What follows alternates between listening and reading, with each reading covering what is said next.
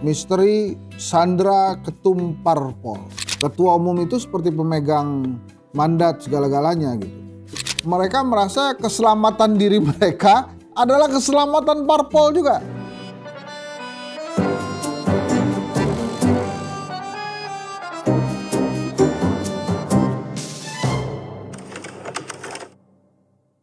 Ya, Assalamualaikum warahmatullahi wabarakatuh. Ya, bersama saya lagi Henry Satrio ya di Satgas Kritik.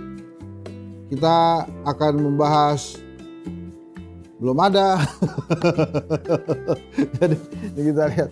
Apa jadi pembahasan hari ini? Oh, kita sudah mulai teori baru sekarang. Ya, jadi ada yang masuk-masuk kemarin karena saking banyaknya masuk kita undi, diundi-undi. Ya, ini Bu produser petugas langsung mengundi ya bahwa ini. Nah ini bikin bola-bolanya lama ya Bu ya? Ya Ibu masih mau lama nggak ada di dalam kamera? Kalau masih lama kita aja ngobrol. Ya silakan, tatap kamera Bu. kita bagi-bagi ya. Aduh, coba kita lihat. Ya. Oke Bu, makasih. Eh Bu ini Bu, uh, apa namanya? Bola-bolanya jatuh. Nah, udah ini tumben-tumbenan nih kita panggil ibu. Biasanya kalau sehari-hari teman-teman ini kita panggil Neng. Ya. Neng. Ayo Neng. Nah, makasih ya Bu ya. Itu ibu produser kita. Kita baca nih dari pemirsa. Apakah jawabannya eh, misteri sen, misteri Sandra Ketum Parpol. Itu tadi ya. Temanya nih Sandra. Oh, tadi kan sebelumnya tuh minggu eh hari yang lalu kemarin kan kita ngebahas tentang Bu Megawati yang belum bisa ditundukkan oleh partai politik. Eh oleh rezim ya.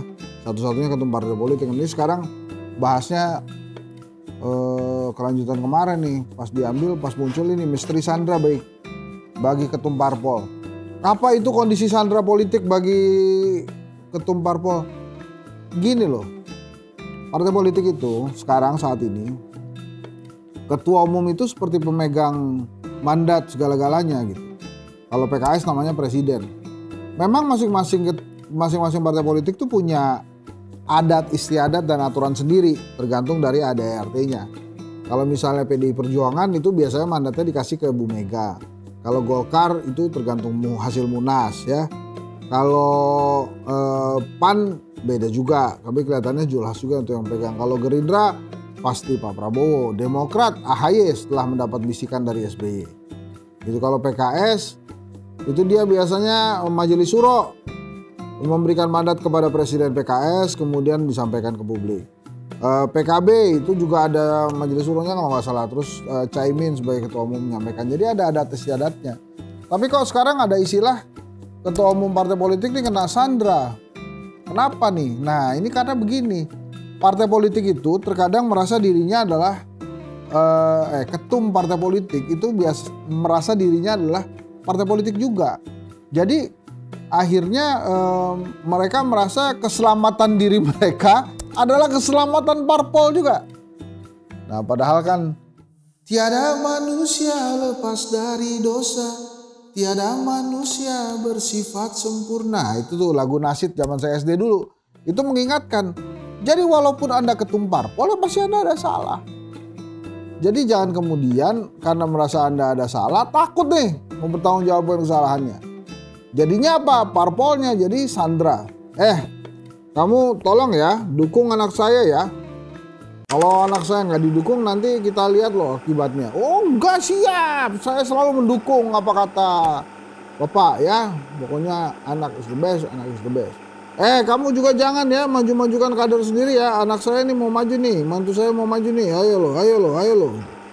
Eh asisten saya juga mau maju nih gitu. Jadilah mereka tidak punya independensi ya atau eh, kemewahan dalam memutuskan sendiri nasib partai politiknya.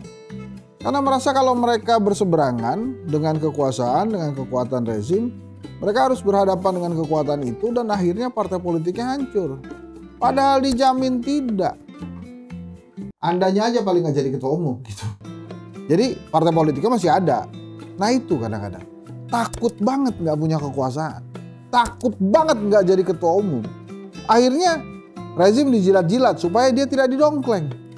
Rezim dijilat-jilat supaya dia tetap awet sebagai ketua umum partai politik itu. Nggak boleh begitu sebetulnya karena partai politik itu mestinya memperjuangkan kesejahteraan rakyat, bukan hanya memperjuangkan kesejahteraan pengurus-pengurusnya saja. Apakah sandera politik itu berkesinambungan dengan adanya kader potensial dalam tubuh sebuah parpol? Kurang apa hebatnya sosok yang namanya misalnya Airin Rahmidiani atau uh, Wayan Koster jadi perjuangan atau uh,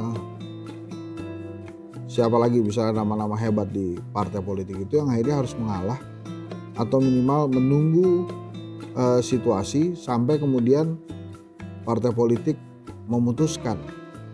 Kalau PDI Perjuangan ini masih independen sampai hari ini. Yang repot itu adalah partai-partai politik lain. Yang tersandra, ini kira-kira disetujui oleh rezim nggak kalau saya mengajukan nama A? Kira-kira disetujui oleh rezim nggak kira-kira pada saat saya mengajukan nama B? Nah itu yang terjadi sebetulnya. Nah dalam demokrasi siasat, ketua umum yang tersandra ini ya makin banyak juga. Padahal kenapa? Apa sebetulnya alasan mereka membiarkan diri mereka tersandra? Nothing to do dengan parpolnya, tidak ada hubungannya dengan partai politiknya. Ini tentang keselamatan pribadi mereka masing-masing. Makanya sebagai ketua umum partai politik, ya kalau salah juga jangan jangan salah-salah banget lah ya salahnya salah ala-ala kenakalan remaja gitulah yang bisa dimanu apa yang bisa dimaafkan jadi jangan kemudian besar-besar. Karena kalau kesalahan besar-besar jadi repot gitu. Rezim yang cerdas, rezim yang cerdik atau licik lah bisa dibilang. Makin besar salahnya, makin dijadiin ketua umum parpol tuh. Karena makin tersandra dia. Jadi nggak ada tuh ketua umum parpol lurus-lurus terus direstui jadi rezim. Apa direstui jadi ketua umum sama rezim.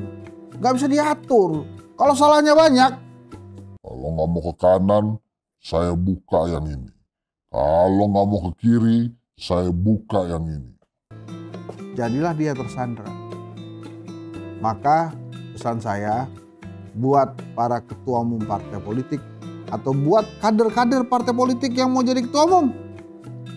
Ingat, jangan perbanyak salah Anda, tapi perbanyak amal Anda.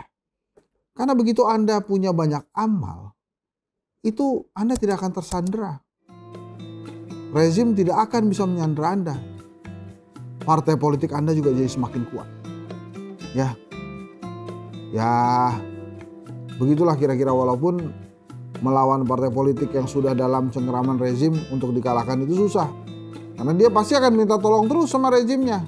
Jim, tolong dong Jim, saya mau maju nih, mau ada raker, mau ada munas, mau ada uh, rapat koordinasi nasional pemilihan ketua umum lah misalnya.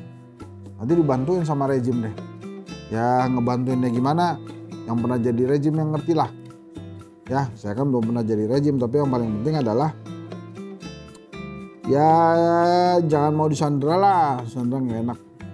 Makanya kita mudah-mudahan nih di zaman Pak Prabowo nanti dengan nasionalismenya Pak Prabowo dan kita harus dukung Pak Prabowo tidak ada lagi semoga sandra-sandraan ketum partai politik. Ayo Pak Prabowo, kamu bisa. Kalau untuk sandra partai politik, seperti kata Gen Z sekarang, jangan ya dek ya. Saya Henry Satrio, setiap hari Senin sampai Jumat jam 7 malam atau jam 7.30 hanya di Satgas Kritik YouTube eh, TV One News. Terima kasih. Assalamualaikum warahmatullahi wabarakatuh.